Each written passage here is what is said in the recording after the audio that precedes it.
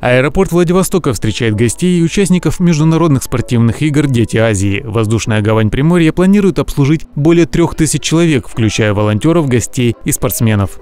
Солнце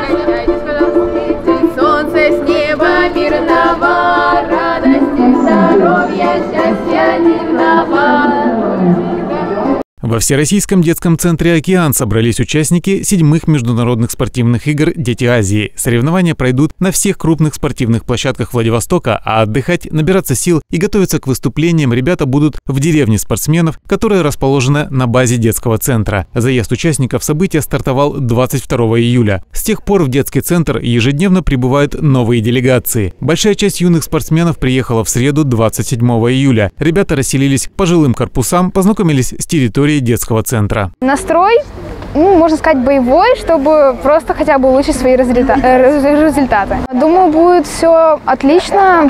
Я думаю, что у меня будет масса, буря хороших позитивных эмоций. Э, и я очень хочу завести новые знакомства. Подготовка к детям Азии началась заранее. Еще в ноябре 2021 года в океане прошел масштабный семинар руководителей делегаций стран-участниц международных игр. Все это время в центре велись ремонтные работы. Готовность к мировому событию проверяли губернатор Приморского края Олег Кожемяка и глава города Владивостока Константин Шестаков. Для ребят подготовлена насыщенная программа. Конечно, основные моменты это будут тренировочные, а, потому что прежде всего дети приехали на игры «Дети Азии». У них идут очень много соревновательных моментов.